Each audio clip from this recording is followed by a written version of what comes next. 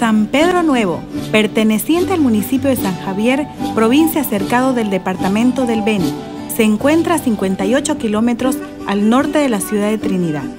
Fue fundado por el reverendo jesuita Lorenzo Legarda, a orillas del gran río Madre de las Aguas del río Mamoré, en el año 1697, el 29 de junio, día del apóstol San Pedro, guardador de las llaves del cielo.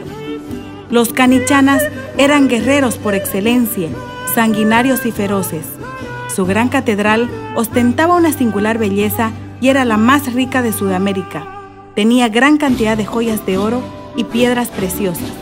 Aquí se fundieron campanas imitadas nunca igualadas. Hoy nos encontramos celebrando los 319 años de fundación de San Pedro Nuevo de Canichana, cuna de guerreros valientes, séptima reducción de mojos, disfrutando de la hermosa entrada folclórica, de las danzas, de la cultura y tradición. Ven, acompáñanos y disfruta con nosotros de la entrada folclórica.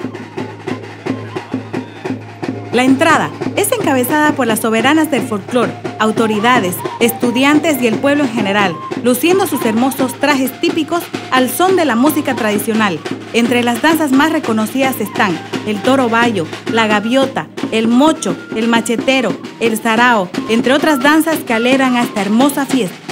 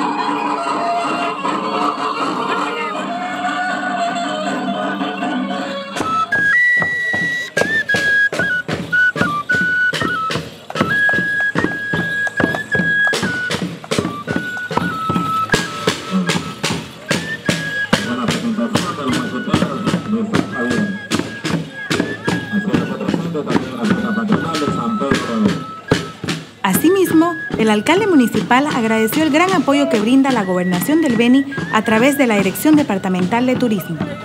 Agradecer a nuestro gobernador por todo el apoyo a través de la Dirección de Turismo que está acá presente para poder incentivar a todo lo que es la publicación de las imágenes, de toda la parte de la cultura. La fundición de campanas se encontraba a tres cuadras del actual templo y en ellas trabajaron varios grupos de familias. Las campanas estaban hechas de hierro, bronce y para algunas partes se utilizaba también el oro que los indígenas extraían del Cerro San Simón. Actualmente, en el lugar no queda nada más que algunos restos de cerámica. El tradicional jocheo de toros es un juego popular donde el hombre y la mujer canichana demuestra su valentía provocando al toro y de esta manera deleitar a los que presencian este hermoso espectáculo. Eso se demuestra la habilidad del hombre canichana, la fuerza,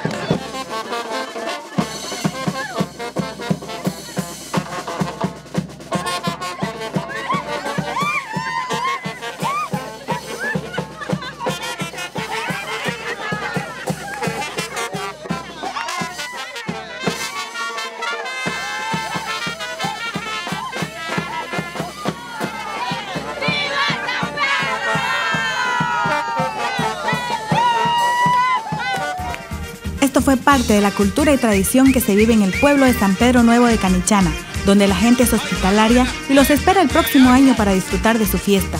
Desde el Jocheo de Toros, los esperamos el próximo año y que viva San Pedro Nuevo de Canichana.